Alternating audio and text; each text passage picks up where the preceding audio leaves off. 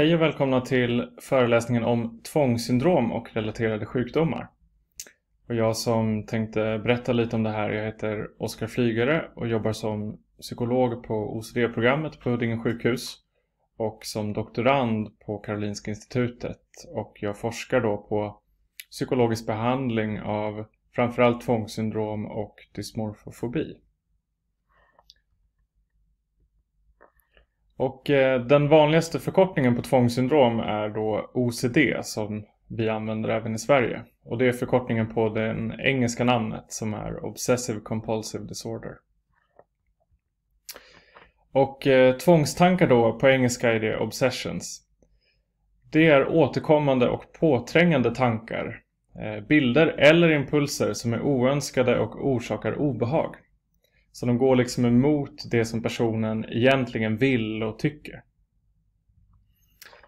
Och tvångshandlingar då är sånt som eh, personer gör som respons på tvångstankarna. Det kan vara både konkreta beteenden men också tankar eller undvikanden till exempel. Det finns en ganska vanlig indelning på olika typer av tvångssyndrom då.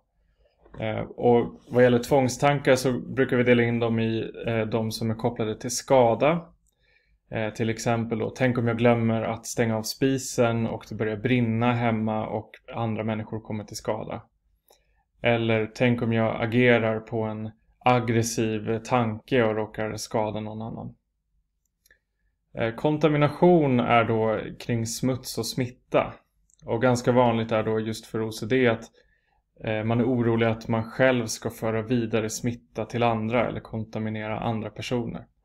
Så det kan vara eh, till exempel, tänk om jag eh, tar på ehm, tar på det här föremålet och på så sätt så får jag en, en blodsmitta eller HIV eller ett virus som jag sen för vidare till mina barn så de blir sjuka. Och symmetri är lite speciellt. Det gäller då eh, tvångstankar som har att göra med att man vill ha saker och ting eh, symmetriskt eller i. Och det kan vara en mer diffus känsla av obehag då som, som man känner om man inte riktigt får till föremål och andra saker på rätt sätt. Det kan också handla om att eh, vissa nummer då kan vara eh, positiva, att man behöver göra saker ett visst antal gånger. Tabutankar är då eh, tvångstankar som går emot ens moral. Så det kan vara till exempel sexuella tvångstankar. Att tänk om jag är pedofil eller tänk om jag eh, tänder på eh, personer eh, av samma kön fast jag inte har den sexuella läggningen och så vidare. Eh, det kan också handla om religion, att eh, jag kanske ser, får upp bilder av Eh, religiösa eh, personer, till exempel Jesus i olämpliga situationer eller sådär. Och då finns det då tvångshandlingar kopplade till de här ehm, eh, kategorierna på samma sätt. Då. Så för, för tvångstankar som handlar om skada då så det, eh, finns det ofta kontrolltvångshandlingar. Så om jag är rädd att eh, jag ska glömma spisen på och det börjar brinna hemma då gör jag kontroller av spisplattan och kontrollera att den verkligen är avstängd. Vad gäller kontamination då så blir det eh, eh, tvätt eller rengöringstvångshandlingar. Och symmetri så kan det handla om att arrangera saker på ett visst sätt så att det känns bra. Eller att upprepa saker eh, flera gånger tills det känns rätt eller tills jag har gjort det ett visst antal gånger då så att det känns bra. Och vad gäller tabutankar så är det väldigt vanligt med då mentala tvångshandlingar som är mera alltså tankar. Att jag försöker till exempel då tänka en positiv tanke eh, om en person ifall jag har fått eh, tabutankar om den personen. Eller om det har ett religiöst tema så kan det vara att jag försöker eh, kanske be ett visst antal gånger eller tänka eh, korrekta eh, tankar om den här religiösa eh, personen som jag har fått tabutankar kring. Det kan också handla om att jag ber andra om återförsäkringar då och, och frågar för att få lugnande svar så att det känns bättre. Och de flesta personer med tvångssyndrom de upplever flera av de här kategorierna på en gång. Så de, är inte, de utesluter inte varandra. vi behandlar tvångssyndrom på eh, lite olika sätt. Jag tänkte mest prata då om den psykologiska behandlingen för det är det som jag, jag som psykolog är expert på. Då har vi en variant på KBT-behandling som kallas för då exponering med responsprevention. Vi ska titta lite mer på det alldeles strax. Vad gäller farmakologisk behandling med läkemedel så är det då eh, bekant för er säkert vid det här laget eh, SSRI-läkemedel då. Så selektiva serotoninåterupptagshämmare. Eh, och om vi jämför med eh, depression eller andra ångesttillstånd så för att man ska ha effekt med SSRI på OCD så kan det oftast eh, krävas högre doser. Om vi går in lite mer på psykologisk behandling så brukar vi använda någonting som vi kallar för tvångets onda cirkel.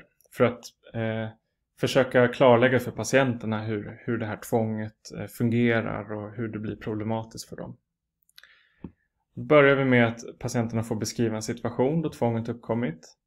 Till exempel eh, när jag ska lämna lägenheten på morgonen och gå till jobbet. Tvångstanken jag får då är Tänk om jag glömmer spisen på och det börjar brinna. Och då kommer eh, de här oskyldiga personerna som bor i mitt hus kommer komma till skada eller dö och jag är ansvarig för det. Obehaget som väcks av den tvångstanken kan ju vara både ångest, jag kan känna mig spänd och stressad, jag kanske får en klump i magen. Tvångshandlingen, i det här exemplet skulle det kunna vara att jag till exempel kollar spisen upprepade gånger. Ehm, jag frågar min partner om den kan kolla spisen så att det är en annan person som också har verifierat. Under tiden jag kollar spisen kanske jag tänker för mig själv, spisen är av. Ehm, Reglaget står på noll, reglaget står på noll. Jag kanske fotograferar reglaget att det står på noll.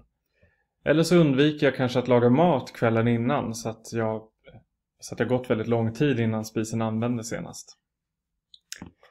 Den kortsiktiga konsekvensen av de här olika tvångshandlingarna då det är eh, oftast att obehaget tillfälligt minskar i stunden. Så precis när jag går hemifrån och har gjort de här kontrollerna och kanske frågat min partner så känner jag ett tillfälligt lugn. Men det som är lurigt just med tvånget är att eh, tvångstanken kommer nästan alltid tillbaka. Och eh, själva det faktum att jag gör tvångshandlingen kan göra att jag fastnar i tvångstanken. För jag gör mig ju själv påmind hela tiden om den här obehagliga tanken som jag försöker neutralisera obehaget ifrån. Så oftast eh, upplever patienten att de fastnar i då en, en ond cirkel här, att det bara går runt, runt. De pendlar mellan ångestväckande tvångstankar och eh, tvångshandlingar som bara lugnar tillfälligt. Men de får ingen långsiktig förbättring. Då. Så som vi behandlar eh, OCD eller tvångssyndrom då, det är exponering. Den andra komponenten heter då responsprevention. Eh, och då brukar vi rita upp sådana här figurer för patienterna. Om vi börjar med att titta på x-axeln så är det bara tid här. Och eh, y-axeln är då eh, en obehag och det är subjektivt upplevt obehag som patienten själv skattar då. Längst nere här har vi inget obehag upp till maximalt obehag som de någonsin upplevt då. Den gamla strategin med tvångshandlingar som patienterna har tagit till då, den är den här eh, gråa linjen som är då att när du får tvångstanken så skjuter obehaget snabbt upp. Du tar till en tvångshandling för att dämpa obehaget tillfälligt. Men det blir bara en kortvarig eh, ångestlindring och obehaget skjuter snabbt upp igen. Så behöver du göra en ny tvångshandling och så fastnar patienterna ofta så här. De känner att de bara hela dagen går åt att de ägna sig åt tvångshandlingar om och om igen men det biter inte riktigt. De känner en ständig eh, anspänning och obehag. Det som vi gör i exponering med responsprevention då, det är dels exponering. Och det handlar om att eh, närma sig tvångstanken eller till och med aktivt trigga tvångstanken. Eh, och det görs då på ett väldigt kontrollerat sätt. Man pratar med sin psykolog först och man gör upp en plan för hur det här ska gå till. Ofta så gör vi då en, en hierarki eller en stege med gradvis tuffare och tuffare situationer eller triggers för tvånget. Och så eh, får man gå in i de situationerna och eh, känna hur tvångstankarna kommer igång då obehaget stiger. Och responsprevention i den här eh, behandlingen det handlar då om att hitta olika strategier för att förhindra att eh, man tar till tvångshandlingar. Så det kan handla om att skjuta upp tvångshandlingarna, avstå helt från dem. Eh, kanske för personer som har det här med symmetri eller eh, eh, räkna så kan det ibland också handla om att man ändrar ordning på en viss ritual så att det inte blir riktigt som det brukar. Det kan också handla om att begränsa omfattningen av tvångshandlingarna. Så till exempel en person som tvättar händerna i 20 minuter efter varje toalettbesök så kan de träna på att minska då längden som de gör det. Det som händer när eh, personer tillämpar den här strategin då, det är att obehaget till en början går upp lite mer än de är vana vid. För de tar ju inte till de här strategierna för att minska obehaget som de brukar göra. Och det många patienter är oroliga för det är att obehaget bara ska stiga och stiga och stiga tills de tappar kontrollen helt eller blir galna eller kollapsar av ångest. Men det som i själva fallet händer är att ångesten efter att gått upp en viss bit så planar det ut och blir liksom inte riktigt värre. Och sen efter en stund så eh, sjunker obehaget gradvis. Och det som är målet med exponering med responsprevention då, det är att obehaget ska fortsätta klinga av hela vägen ner tills patienten känner väldigt lite eller inget obehag. Istället för att det ska fastna här någonstans på mitten som det brukar göra. Och varför det här händer, det kan ha flera förklaringar. Den mest grundläggande och troligtvis en viktig förklaring det är helt enkelt att man vänjer sig vid tvångstanken. Om du hela tiden gör allt du kan för att bli av med den så fort som möjligt så vänjer du dig aldrig riktigt vid känslan att ha den här tvångstanken. Men om du däremot eh, får dig själv att stanna kvar i situationen och ha kvar den här tvångstanken aktivt utan att göra någonting åt den. Du låter den vara helt enkelt. Så vänjer du dig vid den och den blir inte lika skrämmande med tiden. Vi kan ju också tänka oss en person som har gjort en sån här övning en gång och upplevt att det faktiskt obehaget går ner efter en stund av sig självt. Nästa gång så blir det inte alls lika skrämmande. En annan eh, möjlig förklaring till att det här eh, faktiskt fungerar är att personerna när de är i stunden upplever att de kan hantera obehaget utan att de behöver ta till de här tvångshandlingarna.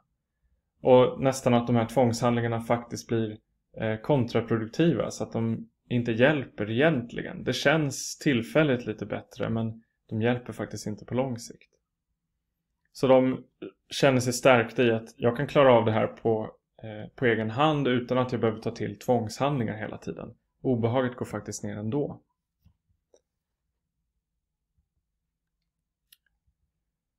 Och när vi gör sån här behandling så upprepar vi exponeringar väldigt, väldigt många gånger då. Så det här är bara en graf för att illustrera hur det kan gå till. Om vi tittar på den här blåa linjen. Första gången så, så kan obehaget vara väldigt starkt.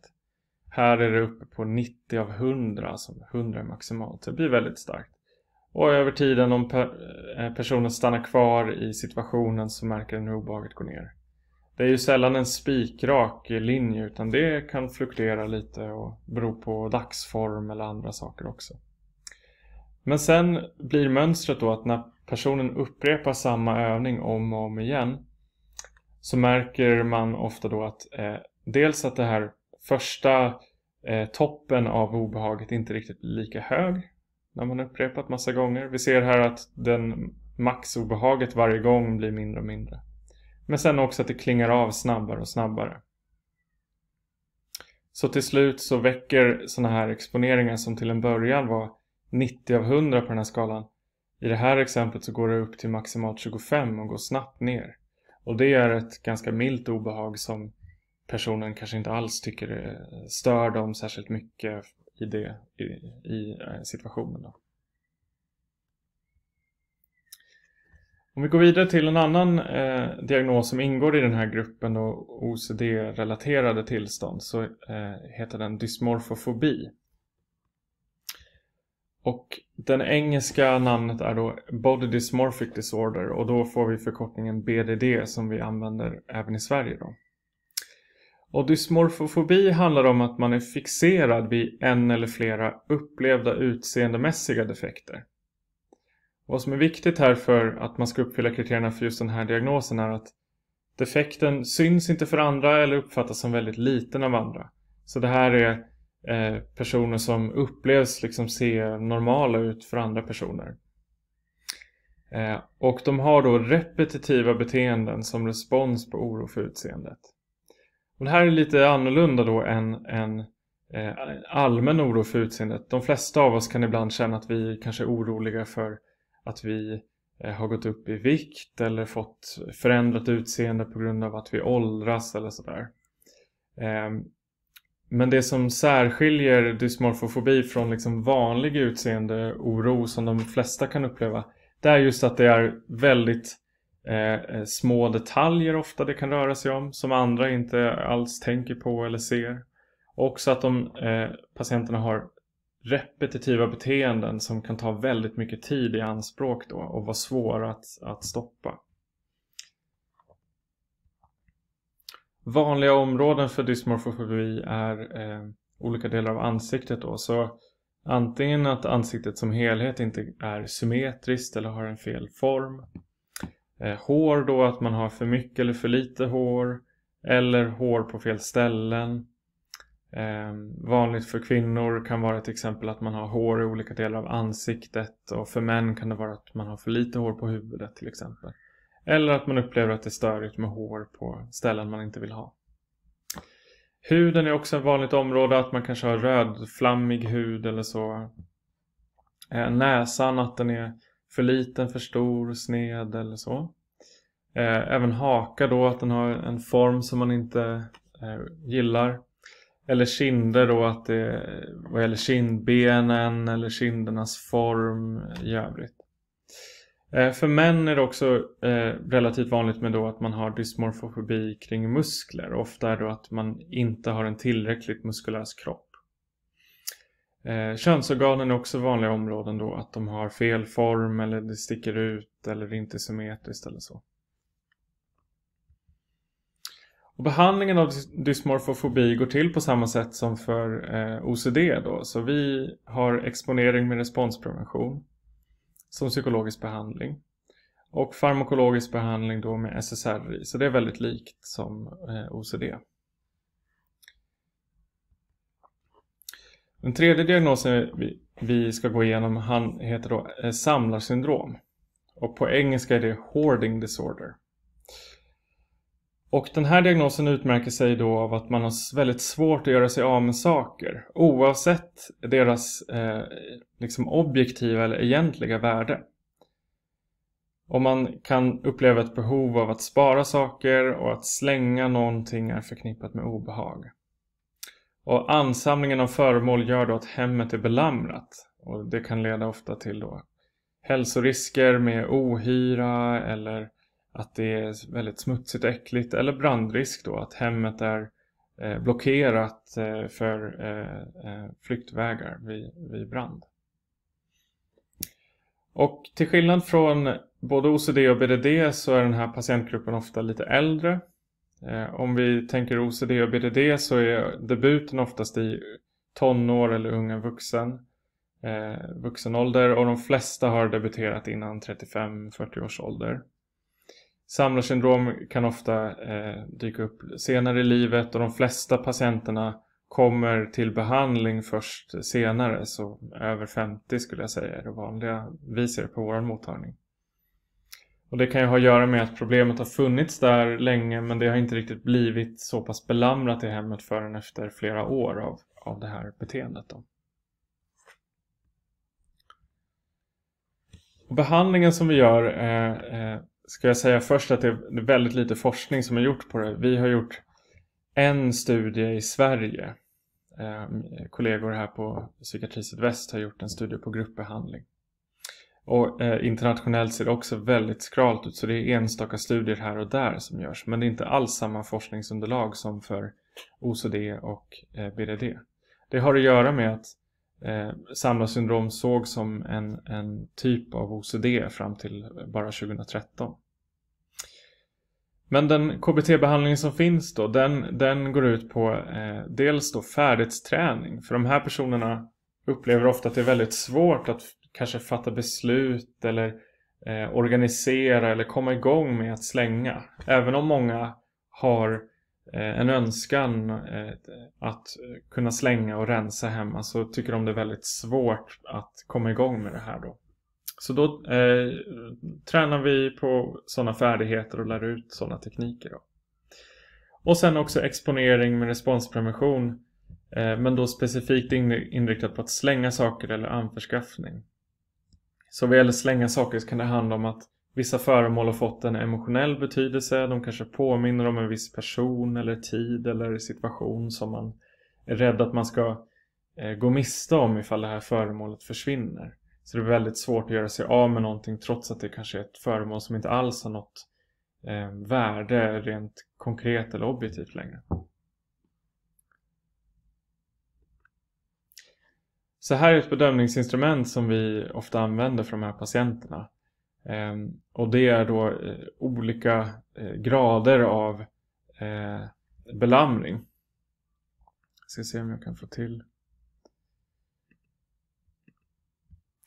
ehm, så från 1 här som är väldigt städat då till, till där det går hela vägen upp till taket med föremål. Då.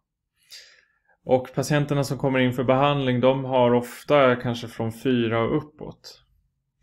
Ehm, så ettan och tvåan är väl någon typ av normalnivå. Trean är ganska stökigt men här ser vi att man fortfarande kan använda sängen ganska enkelt uppe vid, vid femman här så blir det genast väldigt svårt att använda sovrummet till eh, att sova i och, och det är bara eh, föremål överallt.